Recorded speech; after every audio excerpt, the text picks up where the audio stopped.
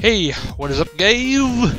Camera from Team Bacon Strips today, coming to you guys with a video, and today we're doing a testing for testing something, testing windup for the format. Here we go. Um, and I was gonna do like a montage for this, but I've been getting script errors on my uh, replays on DevPro for some reason, and uh, I don't know how to fix it. I've googled it, and they the typical you know uninstall, reinstall, delete all the replays nothing works. So I'm hoping there'll be a patch sometime and it'll fix it. If not, well, still go back to doing dual network. But, um, anyway, so I'm testing windups. I've been testing them a lot. I know a lot of people have been testing you know, a lot of different stuff for the format. Like I've, I've heard, I haven't actually seen it yet. Uh, haven't really taken the time to anyway. I've heard of Elemental, Dragon, Plants, which I don't know. It sounds kind of odd to me. I'd have to see it. It's one of those things that you just hear and you're kind of like, yeah, okay and then you see it and you're like, oh, okay. but I haven't got a chance to pay attention to that yet. Uh, the main decks I've been looking at are Fire Fist, Mermails. Uh, I've played Mermails quite a bit. Uh, still having trouble getting the hang of that deck. Just keeping up with it. That deck does so much stuff. And, uh, what was that other deck?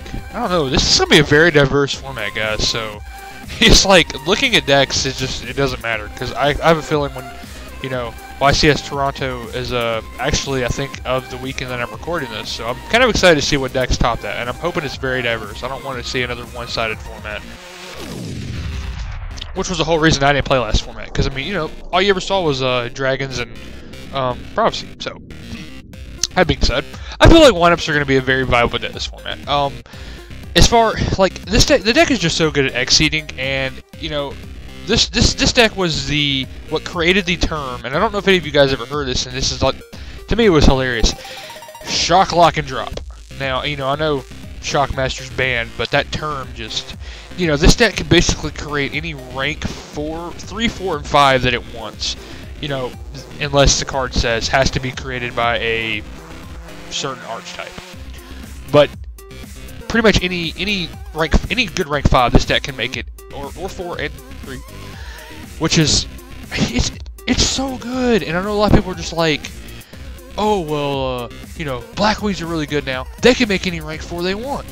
I don't think they can make rank fives as well as other decks can. I know they can make a rank seven. I don't know. It's just a lot has a lot has to happen when this deck's more built around creating rank. Like you know, the windup deck, your extra deck is basically a toolbox, and there's something in it for every situation. Almost. I mean, I guess there's like certain things that you can't do anything about. But for the most part, your extra deck is things for every situation.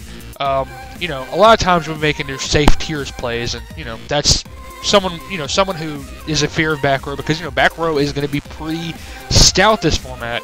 Um, uh, you know, and like myself, I'm playing 3MST, so very scared of back rows. And I play a lot of back row myself, so I know. And Mirror Force is a card. That card's going to be really good this format, so, you know, stuff. But, you know, that being said, I felt like windups really have kind of the best matchup for a lot of decks going on. I have yet to play Fire Fist with it. I haven't tested Fire Fist. Uh, the most I've tested with it is Mermails. Um, a lot of, uh, what was that, Bu Bujins, I think? A lot of, uh, I've played against a lot of Bujins. Um, they haven't got a lot of their support yet, but, I mean, they're still good. Like, the deck gave me problems. Uh, but I was able to play around a lot of the stuff. Uh, played against, what else did I play against? I think I said Mermails already. Played against Evil Swarm. I was able to, I mean, because, you know, Evil Swarm just stops level 5s, not ranks. Uh, so I was able to play against Evil Swarm as well. Constellars had, had a really good matchup against Constellars. Uh, what? And I think I think that's really it I've played against so far. Um, I, I'm, still I'm still looking to play against Fire Fist. Um, I haven't played against Gadgets yet. Gadgets are going to be another really good deck this format. Uh, but I'll, I'll play against one of those pretty soon. So uh, the deck's playtesting well. I'm winning a lot more than I'm losing. You know, there's always those problems that like Mermails give me problems, but I feel like the more I playtest with the deck and the more I learn to play around stuff with this deck, the better it will be. The deck has so many options, and I love that. And I love decks like that. And I feel like the way the deck, the way the list works, I feel like the deck is very balanced now. Um, as to where the deck used to be extremely overpowered you know, with the hand loop, uh, shot, uh, shark and magician. But the deck's very good now, and I feel this deck's gonna be very, very good this format. Uh, you know, Black Wings, I don't really see them being as good. as a lot of the other decks, but they're still competitive.